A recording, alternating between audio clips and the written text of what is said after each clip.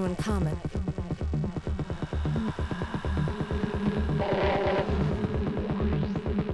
If you wish to express yourself clearly, you'll have a somewhat limited vocabulary.